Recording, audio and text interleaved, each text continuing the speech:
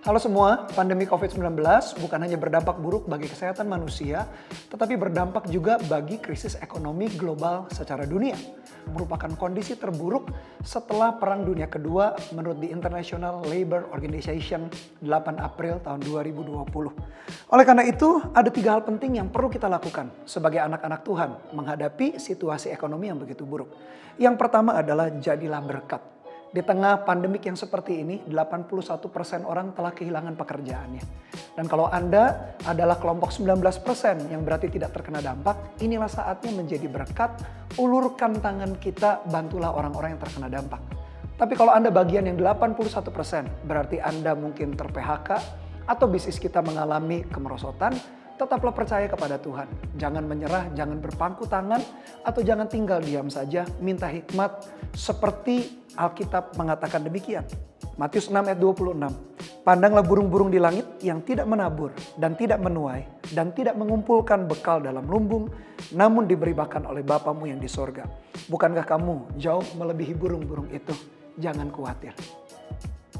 Yang kedua jangan ceroboh. OIP yaitu Online Investment Platform atau FinTech, Financial Technology, adalah proses investasi lewat basis teknologi internet.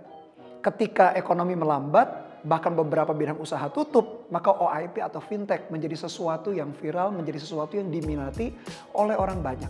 Dan perlu dicatat bahwa dalam kurun waktu 26 Maret sampai 29 Mei 2020, tingkat bunga yang dijamin oleh LPS, Lembaga Penjamin Simpanan, Bank Umum 5,75 persen, Falas 1,75 persen, dan BPR 8,25 persen.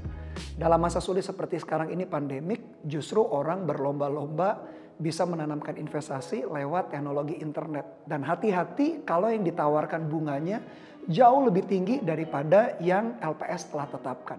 Banyak orang terburu-buru ingin cepat kembali mendapatkan kekayaan, keuntungan. Mereka investasikan semua hartanya justru di situlah kehilangan banyak hal. Jadi hati-hati kalau kita mau investasi. Firman Tuhan berkata 1 Timotius 6 ayat 8 sampai 10. Asal ada makanan dan pakaian, cukuplah. Tetapi mereka yang ingin kaya terjatuh ke dalam pencobaan, ke dalam jerat dan ke dalam berbagai-bagai nafsu yang hampa dan yang mencelakakan yang menenggelamkan manusia ke dalam keruntuhan dan kebinasaan. Karena akar segala kejahatan ialah cinta uang. Sebab oleh memburu uanglah beberapa orang telah menyimpang dari iman dan menyiksa dirinya dengan berbagai-bagai duka. Jadi hati-hati di dalam kita berinvestasi. Yang ketiga bertindak kreatif. Justru di tengah-tengah pandemik hal yang tidak mudah, kreativitas atau inovasi justru bisa muncul Asalkan kita jangan punya mental malas, berpangku tangan, tapi banyak belajar, lihat informasi, buka wawasan, dan tentu saja berharap kepada Tuhan, maka ide-ide kreatif bisa muncul. Okonomiyaki atau the Japanese pizza, atau juga yang menyebutnya Japanese pancake. Okonomiyaki bermula saat Hiroshima dibom pada saat Perang Dunia Kedua. Ibu-ibu di dalam rumah akhirnya berusaha berpikir bagaimana caranya memberi makan anak-anak mereka. Dan okonomiyaki sejak saat itu menjadi makanan wajib yang diberikan di dalam sebuah keluarga. Pengkhotbah 11 ayat yang ke-6 berkata demikian. Taburkanlah benihmu pagi-pagi hari dan janganlah memberi istirahat kepada tanganmu pada petang hari. Karena engkau tidak mengetahui apakah ini atau itu yang akan berhasil atau kedua-duanya sama baik. Jadilah orang yang kreatif. Dan berikut adalah tips bagi para business owner atau karyawan yang mengalami PHK. Tips yang pertama adalah mulai bisnis dengan modal kecil. Gunakan sumber daya yang sudah kita miliki yang ada di tangan kita.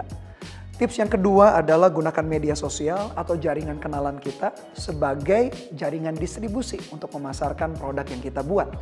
Yang ketiga, kalau kita belum bisa memproduksi, jadilah reseller. Dan barang-barang berikut menjadi kebutuhan yang begitu viral, yang begitu dibutuhkan di saat-saat pandemik seperti ini. Yaitu hand sanitizer, masker, coverall medical, disinfektan, kuota internet, camilan atau masakan andalan Anda, frozen food, tutorial virtual atau sembako. Itu beberapa contoh produk yang dibutuhkan untuk saat-saat ini. Mungkin kita bisa menceburkan diri di dalam bisnis-bisnis yang demikian, baik untuk sementara waktu atau untuk seterusnya. Tapi jadilah orang-orang yang kreatif. Jangan menyerah, jangan berpangku tangan. Saya percaya Tuhan menyertai hidup kita. Oleh karena itu tetap berharap kepada dia.